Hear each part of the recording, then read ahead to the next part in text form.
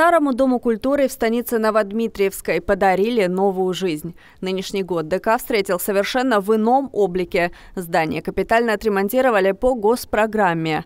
Так неприглядно фасад выглядел до масштабного ремонта. Разница ощутима. Кроме того, сейчас вход оборудован автоматическим подъемником для инвалидных колясок. Реконструкция здания проходила в несколько этапов. От старого остались только стены. Строительно-монтажные работы велись от подвальных помещений до крыши. Немаловажно, что в здании теперь есть теплые туалеты, оборудованные в том числе и для людей с ограниченными возможностями, и даже душевые. Полностью заменены система вода и электроснабжения. Отопление. Работники Дома культуры с радостью отмечают, что в помещениях стало тепло.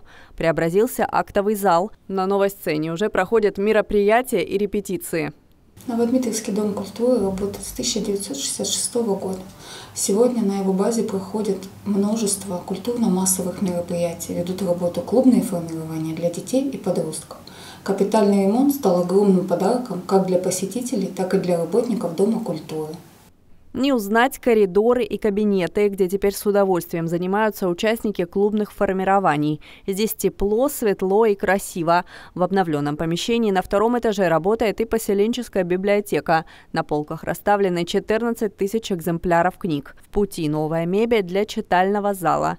Новодмитриевский дом культуры теперь имеет все условия для организации досуга и отдыха местного населения. В этом году еще ряд учреждений культуры района будут в разной степени обновлены обновлены и отремонтированы.